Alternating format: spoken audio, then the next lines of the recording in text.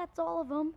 Uh, what's happening to us? I think we've got the plague. Do you have any other symptoms? My top lip feels a little silky. Next comes the appearance of hair on the body and face. Dude, you look like an undercover cop. Stop laughing! Do something! okay. I see mom do this all the time. And dad on one occasion. That feels so much better.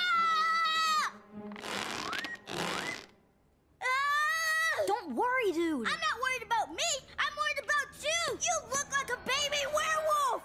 No, not me.